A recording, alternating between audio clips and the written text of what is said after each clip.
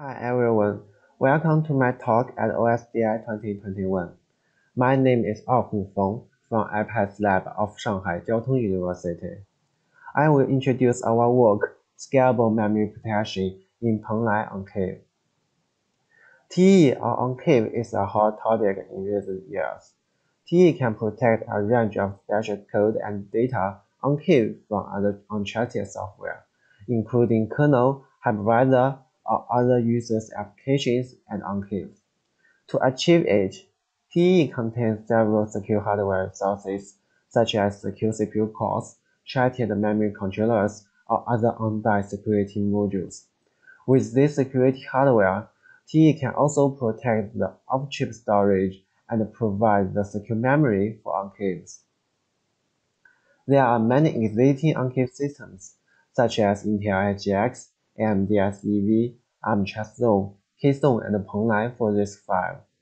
Enclaves have been widely used in many scenarios, especially for protecting the user's private data and performing confidential computing. Meanwhile, the cloud computing becomes prevalent in the last decade. Users may upload their private data into the cloud to analyze so it is nature to use enclave to protect users' privacy in the cloud.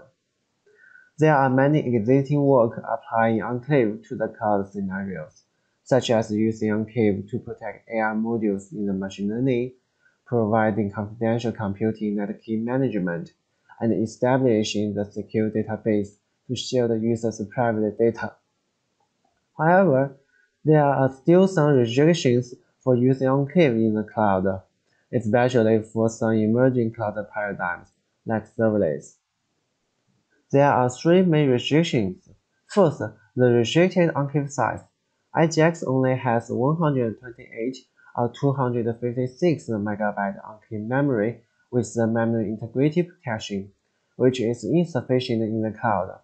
Keystone or TrustZone can use larger enclave memory, but the enclave memory size is hard to scale. Second, the restricted enclave number. The enclave number is restricted by the protected memory regions or the number of encryption keys.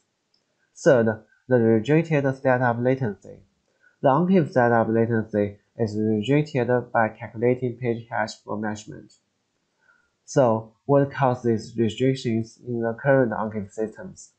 After thorough analysis, we believe that non-scalable memory protection is the root cause. Let's see the existing memory protection in current enclaves. In SGX, CPU provides a processor reserved memory to store all enclave pages. The enclave memory is protected with memory isolation, memory encryption, and integrity checks. As for TrustZone, it uses the trusted memory controller to configure several secure world memory regions and Keystone leverages PMP register to protect physical memory. There are three metrics in non-scalable memory protection for these existing enclave systems. First, the non-scalable secure memory isolation. Second, the non-scalable secure memory integrity protection. And third, the non-scalable secure memory initialization. In this paper, we propose three new technologies to achieve the scalable memory protection. To address the non-scalable memory isolation, we propose the guarded page table and realize the fine-grained memory isolation. To address the non-scalable memory integrity protection, we propose the multiple Merkle chain and scale the protected memory size.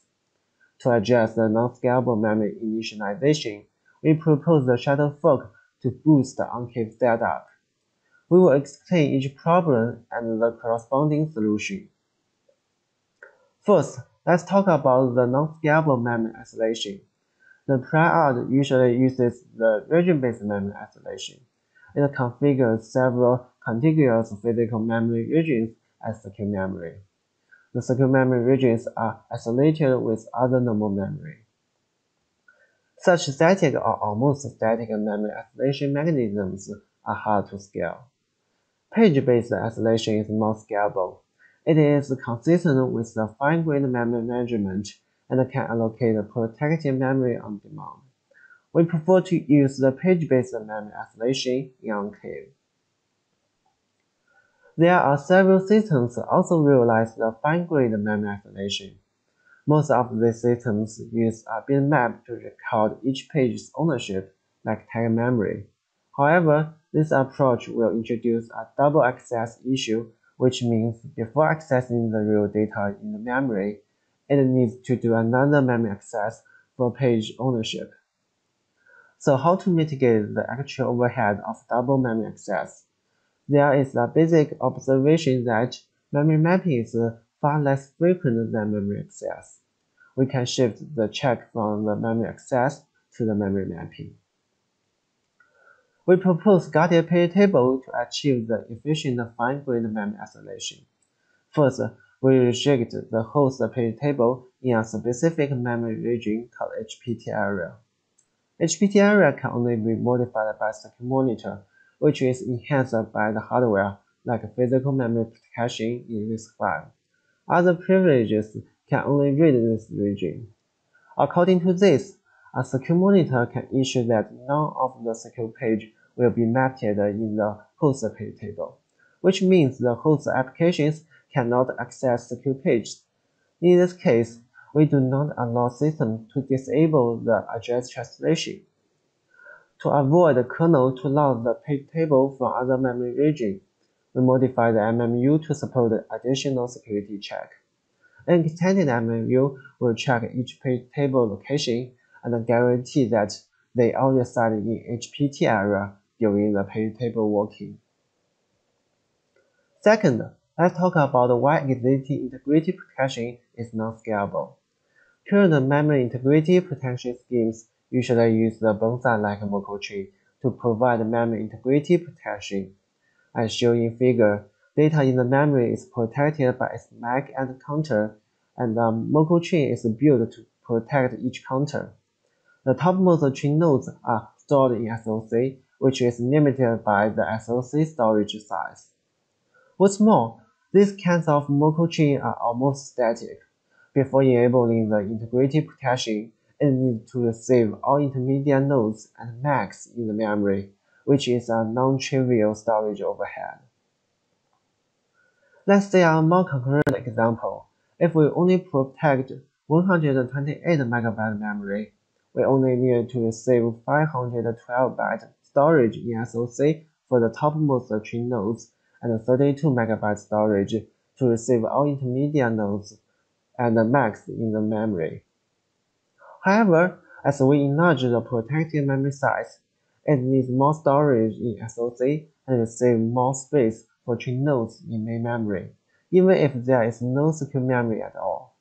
Also, it only protects a contiguous range, which violates the fine-grained memory protection mentioned above. So how to realize the scalable memory integrity protection? We propose a new memory protection abstraction, multiple Merkle chain. First, we divide a whole big chain into several subchains. There are three states for subchain, unallocated, allocated, and mounted. In this setting, all the tree nodes will not be allocated unless the corresponding subchain state is allocated, and we only store the mounted subtree root in SOC.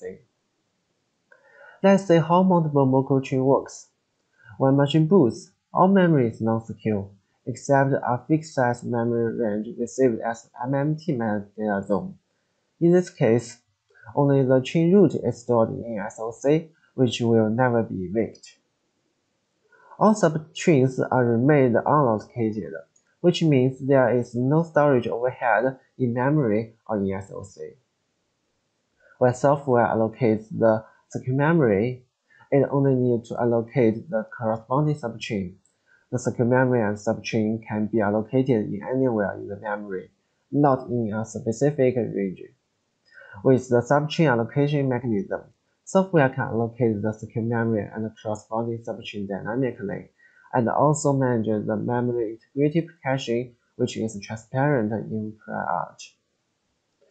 As for mounting mechanism, if a subchain is hot, memory controller will mount the subchain root in SOC so integrity check will be finished when arriving the subchain root.